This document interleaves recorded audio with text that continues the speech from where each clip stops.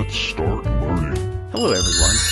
Today, we'll talk about telling time by five minute intervals on an analog clock. Some math vocabulary for today. An interval is an even space between things. An analog clock is a clock that usually has a round face, numbers, and two hands that move.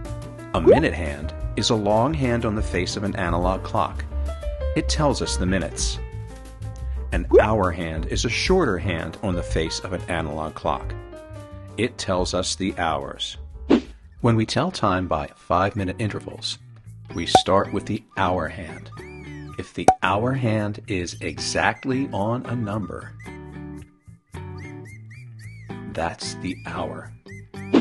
If the hour hand is past one number, but not on the next one, we use the earlier hour.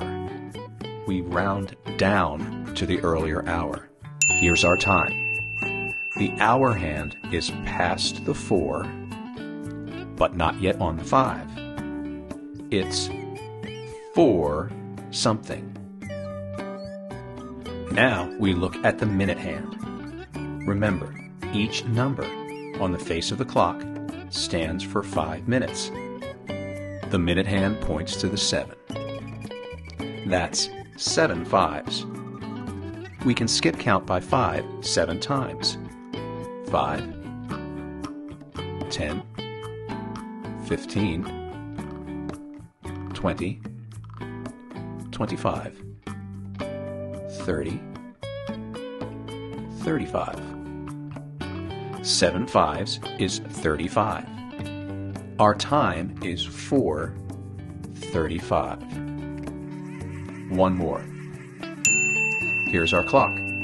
The hour hand falls between the 2 and the 3. So we take the earlier hour. It's 2 something. The minute hand is on the 4. Each number is 5 minutes. That's four fives. Four fives is 20. 5, 10, 15, 20. The time is 2.20. Let's review. Let's review what we've learned. Math vocabulary. An interval is an even space between things. An analog clock is a clock that has a round face, numbers, and two hands that move. A minute hand is a long hand on the face of an analog clock. It tells us the minutes. An hour hand is a shorter hand on the face of an analog clock. It shows hours. When telling time by five minute intervals, first check the hour hand. Next, look at the minute hand. Each number is five minutes skip count by fives. You'll have your time. Nice work, everyone. Parents, teachers, and homework helpers, please be sure to subscribe and turn on those notifications. A like will really help the channel, so please give us a thumbs up. Thank you so much for being here today.